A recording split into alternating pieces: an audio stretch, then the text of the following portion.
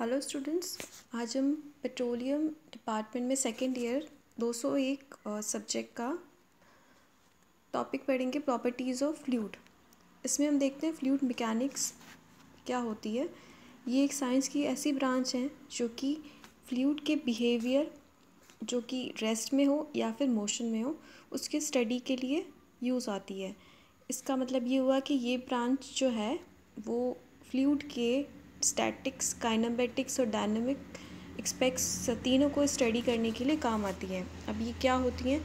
अगर हम फ्लूड को स्टडी कर रहे हैं रेस्ट कंडीशन में तो इसे हम कहेंगे फ्लूड स्टैटिक्स अगर हम फ्लूड की मोशन कंडीशन में उसको स्टडी कर रहे हैं और वहाँ उसका प्रेशर फोर कंसिडर नहीं कर रहे तो उसे कहेंगे फ्लूड काइनामेटिक्स अगर हम फ्लूड की स्टडी कर रहे हैं इन मोशन और वहाँ प्रेशर फोर्स भी कंसिडर कर रहे हैं तो इसे कहेंगे फ्लूड डायनामिक्स इसके बाद हम इस फ्लूड की कुछ बेसिक जो मेन प्रॉपर्टीज़ हैं, उनकी डेफिनेशंस को देखेंगे। फ़र्स्ट आता है डेंसिटी जिसे मास डेंसिटी भी कहते हैं। इसे हम डिफ़ाइन करेंगे एक रेशियो जो कि मास ऑफ़ फ्लूड और उसके वॉल्यूम के बीच में होता है।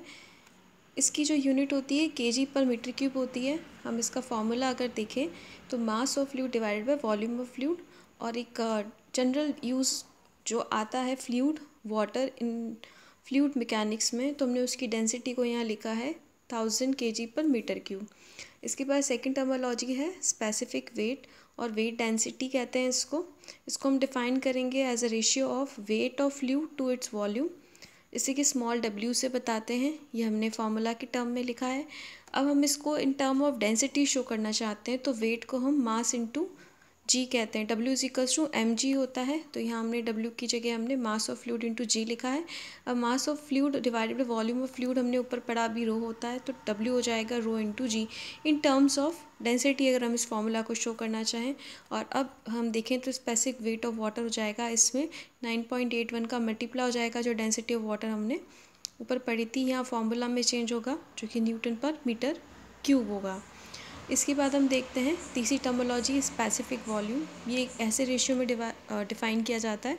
वॉल्यूम ऑफ़ फ्लूड जो कि एक यूनिट मास ने ऑक्यूपाई कर रखा है। तो volume of fluid divided by mass of fluid इसका कोई स्पेसिफिक सिंबल नहीं है।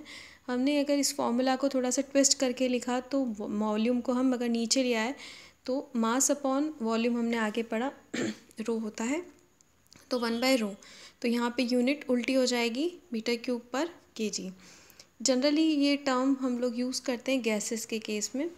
फोर्थ वन है स्पेसिफिक ग्रेविटी जिसे ऐसे डिफ़ाइन करते हैं। ये एक रेशियो होता है जिसमें weight of density of fluid और weight to the weight density of the standard fluid इसको हम रिलेटिव डेंसिटी भी कहते हैं और क्योंकि दोनों ही डेंसिटी की टर्म्स में रेशियो आ रहा है तो एक डायमेंशन डायमेंशन लेस क्वान्टिटी बनती है ये। अगर हम लिक्विड की केस में बात करें तो weight density of liquid divided by weight density of water क्योंकि स्टैंडर्ड जो फ्लूड होता है, वो वाटर होता है। गैसेस के केस में weight density of a gas और वेट डेंसिटी ऑफ़ एयर क्योंकि यहाँ पे एयर स्टैंडर्ड फ्लूड है। अब देखेंगे अगर हमें वेट डेंसिटी निकालनी हो तो हम क्या करेंगे इस फॉर्मूले में, जो अगर रिलेटिव वेलोसिटी दे रखी है और वेट डेंसिटी ऑफ़ वाटर हमें पता होता है, इससे हम निकाल लेंगे weight density of unknown liquid इस तरह से अगर हम डायरेक्टली डेंसिटी ऑफ़ लिक्विड भी निकाल सकते हैं with the help of S density of a liquid क्या हो जाएगा? अगेन रिलेटिव यहाँ पर हमने डेंसिटी बोला ये देखिए। रिलेटिव ग्रेविटी बोला है relative gravity into density of water S into thousand K G पर मीटर क्यूब फिफ्थ टर्म लेते हैं विस्कोसिटी विस्कोसिटी हम ऐसे डिफाइन करेंगे किसी भी प्रॉपर्टी ऑफ़ फ्लूड को, जो कि अगर दो लेयर्स अगर फ्लूड मोशन में है तो उसकी दो एडजस्टेंट लेयर्स होंगी। जब वो आपस में मोशन कर रही होंगी तो उन दोनों मोशन के बीच में फ्लूड रेजिस्टेंस शो करता है। इस प्रॉपर्टी को फ्लूड की हम विस्कोसिटी डिफ़ाइन करते हैं। इसमें अगर हम यहाँ पे ये ग्राफ देखें तो दो लेयर्स हैं यू जिसकी वेलोसिटी है यू और दूसरे ऊपर वाले की यू प्लस डी और इन दोनों के बीच की डिस्टेंस है डी यू यहाँ पे ये जो प्रोफ़ाइल चल रही है वेलोसिटी प्रोफ़ाइल चल रही है, अब हम ये बोल रहे हैं कि यहाँ पे हमने दो लेयर्स लिए हैं, जिनकी डिस्टेंस है डी वाई जो एक दूसरे के ऊपर मोशन कर रही हैं, जिनकी velocity U plus D U है। यहाँ पर हमारे पास में जो इसके अंदर रेजिस्टेंस हो रहा है, एक तो हमें इन दोनों की प्रॉपर्टी की वजह से जो जिसका नाम हमने विस्कोसिटी दिया है प्लस ये दो वैल्यूसिटीज़ डिफरेंट हो रही हैं तो ये दोनों मिलकर जो भी डिफरेंस शो कर रहे हैं, उसे हम शेयर स्ट्रेस कहते हैं, जो इन दोनों लेयर्स के बीच में लगता है। ये शेयर स्ट्रेस जो होता है rate of velocity with respect to Y जो चेंजेस आ रहे हैं, उसकी प्रोपोर्शनल होता है। तो यहाँ पे शेयर स्ट्रेस को हमने टाउ से बताया जो कि प्रोपोर्शनल है D U by D Y हमने प्रोपोर्शनलिटी का साइन हटाया है इक्वल्स टू के लिए हमने यहाँ पर म्यू लगाया है और म्यू को हम कहेंगे कांस्टेंट ऑफ़ प्रोपोर्शनलिटी या coefficient of dynamic viscosity D U by D Y यहाँ पर रेट ऑफ़ शेयर स्ट्रेन या शेयर डिफॉर्मेशन को शो कर रहा है। अगर म्यू को हम बताना चाहेंगे तो tau divided by D U by D Y जो कि विस्कोसिटी का फॉर्मूला हो जाता है। अगर हम बात करते हैं विस्कोसिटी की यूनिट क्या होगी? तो हमने इन टर्म्स ऑफ़ वर्ड लिखा। शेयर स्ट्रेस को फोर्स अपॉन एरिया एंड उसके बाद में change of velocity divided by change of distance तो change of velocity length divided by time into distance यहाँ पे हम चेंज ऑफ़ डिस्टेंस में वन अपॉन लेंथ करेंगे। तो फोर्स इनटू एरिया को हो जाएगा लेंथ का स्क्वायर और डिवाइड में वन बाय टाइम अब म्यू को हम करेंगे। अब इन टर्म्स ऑफ़ इस इसमें हम लिखना चाह रहे हैं तो force into time divided by length का स्क्वायर अब तीन यूनिट्स होती हैं, तीनों के अंदर इसकी जो यूनिट बनती है K G F into second metre square in M K S C G S में dyne into second upon centimetre square जिसे पॉइस भी कहते हैं, ऐसा ही सिस्टम में newton second divided by metre square या फिर पास्कल सेकेंड इसकी यूनिट होगी।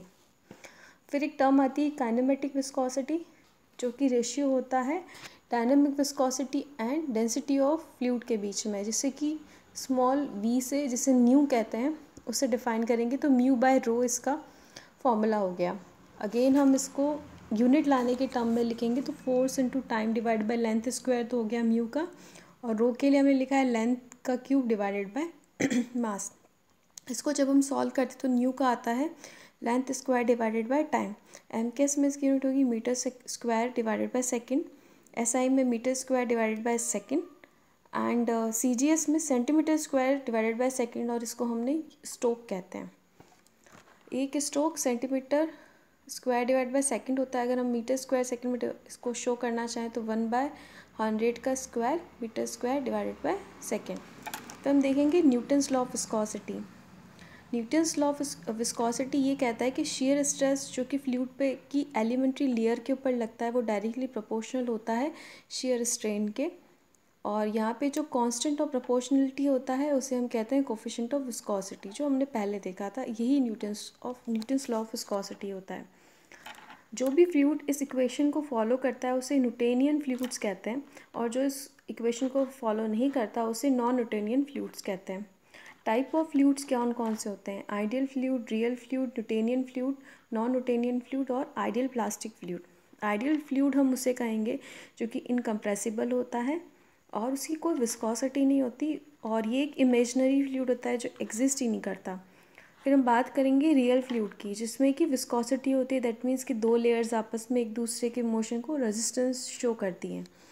न्यूटेनियन फ्लूड हम उसको कहेंगे जिसे हमने न्यूटन्स लॉ ऑफ़ विस्कोसिटी का फॉर्मूला है. अगर उसको फॉलो करता है दैट मीन्स शेयर स्ट्रेस जो होती है, वो रेट ऑफ़ शेयर स्ट्रेन के डायरेक्टली प्रोपोर्शनल होती है। इस लॉ को अगर फॉलो करता है तो उस फ्लूड को हम न्यूटेनियन फ्लूड कहते हैं। नॉन न्यूटेनियन फ्लूड उसी को कहेंगे जो इस लॉ को फॉलो नहीं करता। फिफ्थ है आइडियल प्लास्टिक फ्लूड इसमें कि शेयर स्ट्रेस जो होता है, वो फ्लूड की यील्ड वैल्यू से ज़्यादा होता है और शेयर स्ट्रेस प्रोपोर्शनल होता है रेट ऑफ़ शेयर स्ट्रेन के।